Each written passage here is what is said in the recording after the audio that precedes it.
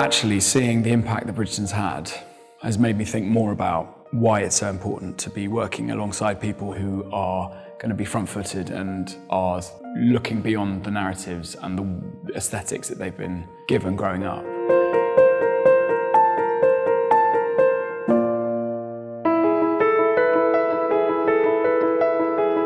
Which one is your pick, my lord? Between her. Nectar. Well bred, highly trained, and well favoured. Nectar, really. Yes. I have a feeling about him. When you're working with a genre like romance, which is about something fundamental that connects all humans, it's so important that we can allow everyone to see themselves in that story. And that, that wasn't necessarily there for me growing up.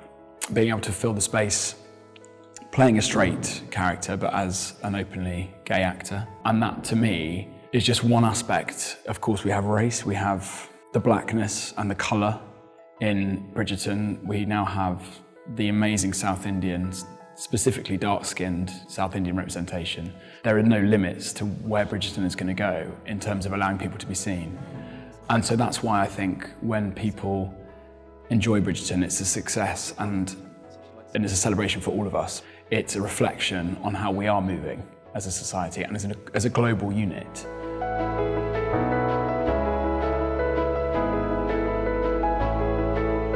I just thought, you know, this was a visceral piece that was written over 10 years ago by Mike Bartlett. And it felt like it actually had themes that were super resonant and even more prescient now with the conversation about um, labelling and gender and how that's changing in a really fascinating way.